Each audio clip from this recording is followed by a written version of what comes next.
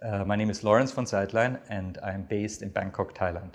I coordinate uh, malaria elimination efforts for the uh, unit, and uh, my field of work includes uh, Vietnam, Cambodia, Laos, Thailand, Myanmar. The focus of my work is malaria elimination, and what we are trying to coordinate are ways to do operational research to find the best way of and the most cost efficient way to eliminate malaria.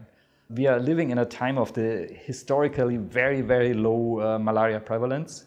I don't think it has ever been so low as it is now. And uh, so there is a real chance for once to get rid of the, the parasite once and for all. The threat is that if you have this really low uh, prevalence and incidence of malaria, basically you have cornered the parasite. The parasites that can survive under these circumstances are the ones that are the strongest, that have completely adapted to this environment. These are parasites which are resistant to the traditional uh, antimalarial drugs. The fear, of course, for an epidemiologist is that this population is going to expand again. And if these parasites expand, we have at the moment no good treatment for them we need uh, two or three antimalarial drugs at once to get rid of in, in one patient of these drugs. So it has become very expensive and, uh, and, and complicated to treat uh, people who have these, these parasites. And our fear is that if this population here expands here in, in Southeast Asia, uh, the same thing has happened, which happened before with sulfadoxine pyrimethamine, with chloroquine, that resistance parasites which arise from the Western Cambodia spread throughout the greater Mekong subregion and then uh, they, they, they, make it through spreading through, through India. And uh, there has always been lively commerce between India and East Africa, make the way then into the African uh, subcontinent. The, the main focus of your work is malaria elimination. What are the challenges in that work? Malaria elimination is going on for at least 50 years or something like this.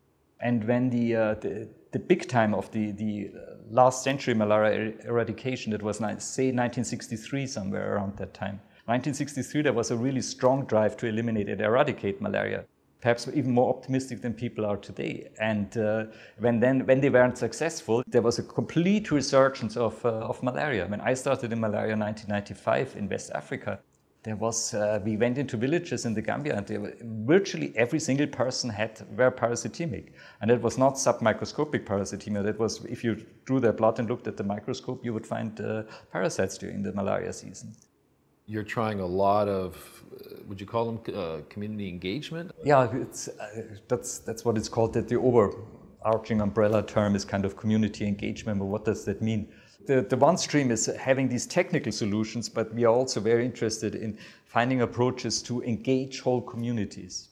What would we have to do to make you interested in it? And one way to do it, and I think that's the most successful way from what we have learned over the last years, is that we, we, we provide healthcare uh, through the village healthcare worker. That builds trust. Um, that can be a villager who is interested in doing this and wants to do training and become better at it. And then we support this person with uh, medication, basic diagnostic tests. And as soon as there's one person stationed there who can take really take care of most fevers, uh, malaria incidence drops tremendously, very quickly. Um, it's, a, it's a very, very effective intervention. So it's building trust. So that's, that's, that's not a very sophisticated technological approach, and it doesn't get you into the, the fancy journals, and it doesn't give you a high impact factor, but it's absolutely essential if you want to uh, be successful in malaria elimination. What are the benefits of you for working at MORU? Well, um, I'm based here in the Mahidol Oxford Research Unit in Bangkok, and the advantages are that I'm in the in the zone, in the uh, in the area, in the region.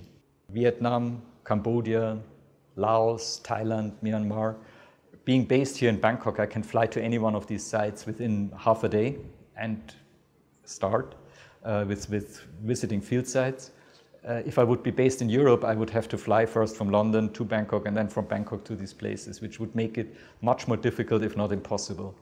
Uh, the second thing is that you have a different perspective, really. If you live in, uh, in whether it's in Washington, in London, or wherever, you have a little bit of a different view. Um, being here immersed in the, in the Asian area, I think I have a little bit better understanding than I would have in, an, in another place if, if you had one, one thing to say to governments about malaria, malaria elimination, what would it be?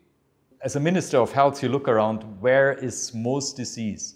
Uh, what is the biggest problem that my nurses uh, from the from the district hospital uh, are, are busy with? What is the what are the hospitals managers most concerned about? And it's probably not malaria at the moment because we have it at very low uh, very low levels.